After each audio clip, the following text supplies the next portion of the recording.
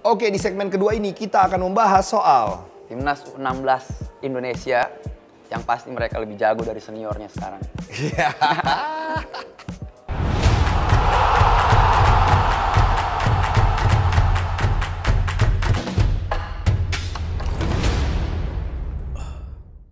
Di tengah terpuruknya performa timnas senior di kualifikasi Piala Dunia, ada kabar bagus nih Bon, ya nggak? Seperti yang tadi lu bilang, Ya, Timnas, timnas U16. Yes, Jadi waktu yang level paling tingginya hancur, yang paling bawahnya justru bersinar. Iya. Iya nggak? Mereka berhasil Kelas. menjadi eh, salah satu negara yang lolos ke Piala Asia 2020 tahun depan di Bahrain. Bahrain. Jadi eh, gua ceritain statistiknya dulu. Indonesia berhasil menjadi runner up terbaik kedua setelah menduduki peringkat dua grup G, Grup G. dengan 10 poin, hasil tiga kali menang dan satu kali imbang. Yes, ya Tak nggak? terkalahkan ya. tak terkalahkan. Pas Mereka itu berhasil menang 8-0 lawan Brunei Darussalam. 15-1 lawan 15-1 lawan Kepulauan Mariana, Mariana Utara. Utara. Mereka menang 4-0 lawan Filipina Ah. dan ditutup dengan hasil 0-0 lawan Cina, Cina, juara yes. grup Cina. Kemarin tuh kalau misalnya kita sampai nggak imbang lawan Cina, kalah aja 1-0. Posisi kita nggak bakal masuk, kita bakal digeser oleh eh, kalau nggak salah Thailand atau Vietnam. Nah, mereka yang bakal naik. Hasil imbang tambahan satu poin kemarin membuat Indonesia jadi satu-satunya tim Asia Tenggara yang berhasil lolos ke Bahrain. Dah Malaysia, dadah Thailand. Bangga. Bangga juga ya. Bangga juga loh. Adik-adik ini good job loh. Guys, lu the best, man. Walaupun mukanya masih dede-dede Nah, gitu ya kan. walaupun kita lucu. agak asing dengan wajah-wajahnya, bahkan penontonnya Iya. rata-ratanya wah sangat sedikit, Iya. men. Main di Stadion Madia sampai terakhir di lawan Cina ya. Iya. Baru akhirnya mereka di SUGBK. Iya. Itu yang nonton paling cuman 5.000, 8.000. Wah, itu udah paling banyak. Tapi ternyata Tapi ternyata Iya. dibayar tuntas Iya. dengan tiket ke Piala Asia. Gue lucu ya tuh. kayak nggak kayak yang, Yang didukung itu, puluhan ribu ribuan. orang. Yang ada diceng-cengin. Eh. Aduh, gue. Lucu tapi itu. Maksudnya dia waktu pertandingan mulai kan apa namanya? National anthem tuh. Hmm, Nah, terus na- ya, kalau di senior kan mungkin ada beberapa lah yang sampai nangis gitu kan. Nah, Hmm. ini semuanya nangis nih satu tim. nah, lucunya lagi nih begitu pema- pemain-pemain timnas U16 Cina datang nih buat salaman ya kan. Mereka masih nangis. Jadi sambil nangis kayak lebaran. Gile. Jadinya main bola kayak lebaran tuh lucu banget, lucu abis. Bangga, men. Dan Itu- ternyata Cina bisa bukan diimbangi kalau menurut gua maksudnya kita bisa Mendominasi. mendominasi justru Iya bukan mengimbangi ya kalau maksudnya kalau mengimbangi kan Ya, posisinya kita Cina lebih bisa ya, kita tertekan ya. tapi kalau ini mendominasi benar gitu dari catatan statistiknya mungkin bisa dilihat di situs resmi AFC gitu ada ya ada ada banyak peluang dan kayaknya tampil lebih tenang gitu mereka bisa maksudnya bisa berani di kotak 16 tuh main two gitu berani banget gitu padahal lawannya Cina gitu. Hmm. harusnya kan yang bisa yang harusnya begitu tuh ngasih contoh yang begitu tuh kan harusnya senior ya bukan juniornya ngasih contoh bang begini mainnya kan Eh, seniornya tadinya begitu. Oh, tadinya begitu ya? Tapi di babak kedua kan Iya. kan loyo, kendor. Nah, gitu loh. Makanya abang-abang senior Gue masih nggak tahu nih pertanyaannya apa. Ntar kita tanya yuk. Abang, abang Ah. Kakak, mau tahu nih. Iya. Kalau menurut lo kenapa nih? Kenapa timnas senior selalu loyo di babak kedua? Eh tapi timnas U16 nggak boleh sombong dulu. Oh, benar? Boleh. Setuju gue. Iya, Setuju gue. boleh. Soalnya lawan-lawan mereka ini lumayan Iya, beringas. menakutkan Iya. ke depannya kalau menurut gue ya. Banyak banyak ada Jepang, ada Korea Selatan, ada eh, India, India juga lagi bagus. Terus masih banyak negara-negara kuat di Asia yang kita harus ngebuktiin kalau kita emang pantas lolos ke situ, bukan cuma sebagai partisipan ya. Iya. Gitu. Kita mau ngejelasin dulu soal Piala Asia U16 2020-nya dulu nih sebelum kita masuk lebih dalam lagi. Jadi Piala Asia U16 2020 itu bakal digelar mulai 16 September hingga 13 Oktober 2020. Tahun depan persis. Masih tahun depan. Untuk grup belum ketahuan ya karena masih akan diundi. Dan Indonesia itu masuk ke pot 2 bersama Australia, Korea Utara, dan Oman. Kita agak-agak bisa bersantai salaman dulu, nggak ketemu Australia, nggak ketemu Korea Utara setidaknya. Tapi peluang untuk yang tadi gue sebutin ketemu Jepang, Korsel. ketemu Korsel, ketemu India, Iya. cukup besar. Nah, Banget. Gitu loh. Iya. Kita nih bakal ngebahas soal sejarah dulu Indonesia di Piala Asia U16. Kita Iya. balik lagi, kita rewind sedikit penampilan Indonesia ya. Terakhir kali main tahun 2000, 2010. 2010. Jadi waktu itu di Thailand, Indonesia cuma menang sekali, Ya. 4-1 melawan Tajikistan. Tajikistan. Terus kalah 1-3 lawan Uzbekistan dan kalah 0-1 dari Jordania. Akhirnya Indonesia cuma berada lolos. di peringkat 3 klasmen akhir dan nggak lolos ke babak selanjutnya. Sebenarnya sih nggak bego-bego banget lah ya. Iya, Ya nggak apes. sih? Apes aja. Ya lawannya eh, negara-negara Asia Timur Iya. dan Timur Tengah jadi agak-agak ribet ya. Indonesia selalu punya kendala tuh lawan-lawan tim itu gitu. Terus da- sepanjang sejarah ini akan menjadi penampilan ke-7 Indonesia di Piala U16. Eh, Piala Asia U16. yes, di Piala U16. Penampilan terbaiknya yaitu tahun 1990 berhasil lolos ke semifinal, Semifinal. dan merebut tempat keempat. Ya. Tapi kalau misalkan dulu 90 itu kan grupnya cuma dua.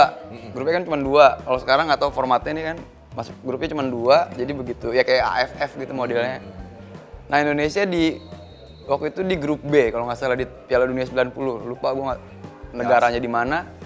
Tapi yang jelas kita nahan Korsel satu-satu di turnamen di putaran final ya, bukan bukan bukan di kualifikasi gitu. Nah terus satu satu grup juga sama Bahrain apa ya kalau nggak salah. Dan kalah 0-1, satu kali seri, satu kali menang, satu kali kalah. Statistiknya kayak gitu kalau nggak salah ya. Apa Arab Saudi gitu. Pokoknya negara Timur Tengah. Penyakit emang kalau lawan lawan negara Timur Tengah. Kalau misalkan Cina kemarin ngelihat kaget kan posturnya. Postur pemain Cina 16 tahun tapi bener-bener kayak pemain senior gitu. Nah, mungkin kalau gua ngelihat Cina walaupun besar tapi speednya nggak ada.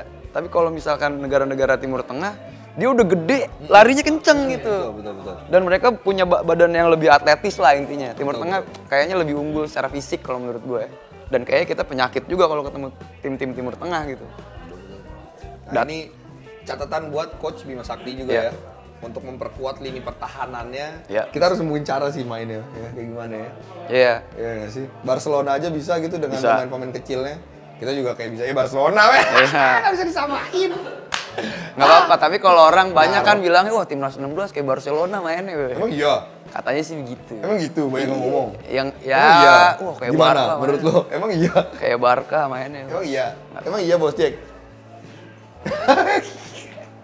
Emang iya Bon? Iya. Oh gitu, banyak yang ngomong gitu. Pendek, Netizen, pendek, netizen. iya, netizen, kayak Barca gitu Oh, mainnya. Kayak Barca. Karena mungkin kan posturnya kecil, terus Ah. terus dominasi dominasi bola ya kan Oh, gitu-gitulah. oke, oke, oke, ya oke. apa Barcelona era-eranya Pep Guardiola gitu. Hmm, mungkin ini turunannya Luis Milla, iya, nih. mungkin. Kan dari Bisa Bima jadi. Sakti, Bima Sakti menerapkan dari U16. Iya. Karena Coach Bima kan lumayan lama ikut. Yap, yap, yap, yap. Betul juga sih, bagus juga, bagus juga. dipilih Luis Mia dulu kan asistennya langsung Coach Bima. Tuh. Nah, kita juga punya catatan tiga pemain yang ternyata bersinar bersama tim Nas Ya. U16 ini. Mungkin lu kan pada belum tahu nih siapa aja pemain-pemainnya yang keren-keren kemarin kan, baru tahu sekarang. Ah, anjir lolos main ke Piala Asia. Siapa aja sih pemainnya? Nah, biar lu nggak so tahu, biar lu bisa ngobrol sama temen-temen lu dengan gaya so tahu, kita kasih tahu. Ya. Kasih tahu, Bon. Siapa yang pertama, Bon? Ada Marcelino Ferdinand. Wah, ini anak ya kencang banget larinya. Oh, iya. Naluri cetak golnya lumayan apa ya? Ya maksudnya dia walaupun masih muda tapi serem gitu kalau misalkan udah udah ada di kotak penalti gitu. Itu yang gua, lagi lawan apa ya? Lagi lawan Brunei. Mariana Utara. Enggak, enggak, lagi lawan Brunei kalau nggak salah. Eh, lagi lawan Mariana Utara kan banyak tuh dia Yes. golnya tuh. Jadi dia udah cetak Tujuh 7 gol, gol. iya. Di kompetisi ini dia nyetak 7 gol. Terus dia tuh nyetak 5 gol pas lagi lawan Mariana Utara. Iya, 5 gol. Hmm. Ya walaupun musuhnya Ya, jauh berada di kelasnya tapi kan itu maksudnya 5 gol itu kan nggak gampang juga. tetap aja 5 gol gitu loh. Insting, insting. Yoi. Itu bukti dari ketajaman insting. Nah, yang kedua ada pemain Alexandro Kamuru. Felix Kamuru. Nah, ini nih pemain ini nih asli dari Papua, dari Sorong. dia agak perjalanan hidupnya agak menarik gitu loh. Dia anak yatim piatu dari muda, terus dia akhirnya pindah, dia menimba ilmu banyak, terus sampai akhirnya dia bisa kepilih ke timnas U16. Dia pertama agak kaget juga lolos ke sini, tapi menurut coach Bima, dia nih tingkisannya Boas. Boas Kakak dan Boas. Partisan Salosa men. Wow, gokil. Ini dia nih pemainnya nih licin, cepat, bisa megang bola dan sering main di sayap dan juga back kiri Ya, ya. back kiri. Ah, ini jadi pemain yang Wing. pemain yang emang apa ya khas Indonesia banget gitu loh. Pemain Ya. sayap yang cepet, yang lincah dan bisa ngasih asis-asis yang terukur gitu, Bon. Dan gak jarang bikin gol. Nah, betul betul betul betul. Memecah kebuntuan kalau diperlukan. Dia juga salah satu pemain yang tidak tergantikan oleh Ya. Coach Bima. Ada satu lagi nih pemain yang nggak tergantikan lagi. Siapa Bon? Ada Putra Kaichen di posisi penjaga gawang. Yoi, pemain dari Bali ini Wah, emang kemarin bagus dia tuh Bagus, lawan. bagus. Ya, bagus dia kemarin bagus banget main lawan Cina. Bagus. keren keren keren keren. Dia juga mencatatkan statistik cuman sekali kebobolan, yaitu pas lagi lawan Kepulauan Mariana, Mariana Utara, Utara, iya, 15 benar. yang pas kita 15-1. menang 15-1. Itu doang, sisanya clean Clean sheet. Termasuk lawan Cina. Dia juga berhasil mencatatkan 5 clean sheet dari 7 pertandingan di Piala AFF U16 kemarin sebelum Piala Asia ini. Jadi cuman kebobolan dua kali, men. Ya. Kita punya salah satu kiper ya berbakat lah ya, Ya, menjanjikan di masa potensial. depan. Sebelum kita menutup Rabona kali ini kita ngomongin peluang timnas Indonesia U16 di Piala Asia nanti. Gimana menurut lo? Ya langsung aja gue, gue semifinal lagi lah. Itu harapan lo tuh Iya semifinal lah, lagi tuh. semifinal lagi. Kalau misalkan ngelihat peta kekuatan sekarang ya Asia gila-gila juga pasti gitu. Ya, India kalau coba semifinal aja kayaknya udah terlalu lebay deh Bon kalau menurut gue. Enggak, enggak sih? enggak lah, semifinal aja semifinal. Serius lu? Iya, enggak maksud kalau kalau kalau misalkan coach Bima bisa mempertahankan gaya main setidaknya kayak gitu, ya pasti kan harus ditingkatin. Nah. Itu udah pasti kalau ditingkatkan kan itu udah pasti gitu karena ya musuhnya bukan Mariana Utara nanti. nggak ada tim-tim model Mariana Utara, Brunei maaf ya gitu. Atau Filipina ya nggak Kita sih sebenarnya lolosnya kalau menurut gue juga agak-agak Iya, eh, iya beruntung. dari Iya, ya. iya. Ketemu negara-negaranya yang pembinaan usia mudanya kurang bagus. Iya, tapi ya tapi nggak masalah lah. Intinya intinya tetap harus ada peningkatan nanti. Brunei. Filipin. Filipina. Aduh, ya. ya. ya lu ingat mereka ini pembinaannya nggak ada. Cina, Cina ya bagus lah 0-0. Good job boys. Tapi ya jangan puas diri, jangan Iya, mikir masih- oh udah selesai belum. Masih ada putaran final itu. Masih ada putaran final untuk membuktikan diri lo bukan seperti abang-abangan lo yang selalu mengecewakan pasti di Piala Asia aja. iya, Ya nggak? iya. U19 mengecewakan di Piala Asianya. Dua tiga. U23 mengecewakan di Asian Games. Timnas senior kualifikasi yang ditunggu-tunggu mengecewakan. Mungkin 16 ini bisa menjadi pelipur lara. Tapi jangan juga jadi beban kalau menurut gue. Karena Iya. ya masih muda. Mendingan kayak kemarin aja, diem-diem, diem-diem, tapi berprestasi. Kalau ngutip kata Ole Gunnar Solskjaer nih, walaupun MU-nya lagi kacau nih, biasanya nih pemain muda tuh nggak mikirin apa-apa, dia cuma pengen main. Nah itu yang harus, ya mungkin Coach Bima udah tahu kali ya. Harus dijaga itunya Iya, ya. udah main aja, lu main aja gitu. Main aja.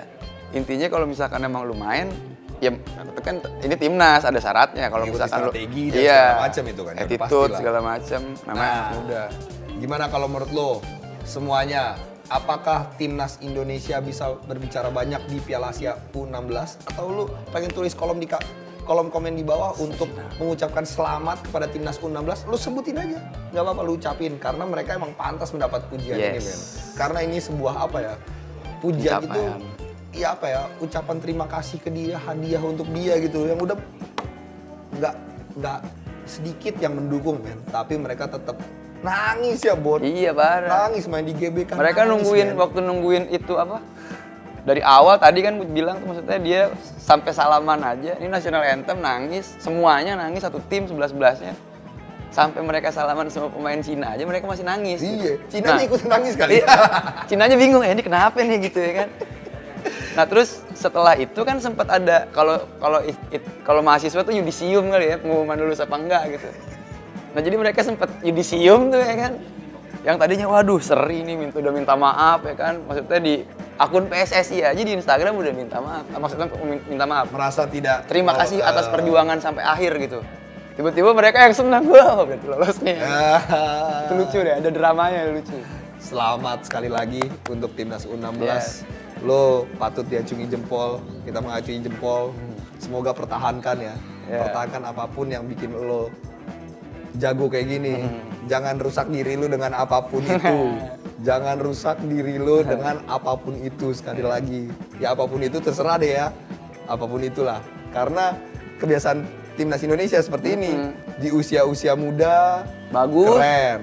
Melambat laun, lambat laun, Iya. lambat laun hilang menurun. iya benar Gue nggak ngerti. Mungkin yang tahu adalah yang di komunitas dalam Iya. sepak bola yang tahu soal ini ya. Kita apa ya itu ya terserah. Hmm. Pokoknya kita cuma pengen lu nonton Rabona terus tiap minggu. Sorry dua minggu ini tidak ada karena waktu itu saya bekerja di luar kota dan eh, duduk yang betul. Nah, biar Cuti. kelihatan muka lo. Nah, biar dia cuti. Nah, ini yang cuti kemarin jadi nggak bisa syuting lagi. Mulai minggu depan mudah-mudahan kita bakal lebih lancar lagi syutingnya. Terima kasih udah nonton, semua yang udah nonton Rabona, thank you banget. Karena kemarin viewsnya lumayan tinggi, thank you banget men. Terima kasih. Dan apa yang pengen lu bahas di Rabona, tulis aja di kolom komentar. Dan jangan lupa untuk follow Instagram Flix ID dan follow Instagram kita lah. Apa pun itu ya, lu cari aja sendiri. kita rahasia men. Terima kasih Rebon. Terima kasih semua yang udah nonton. Sampai ketemu di Rabona minggu depan. Ciao.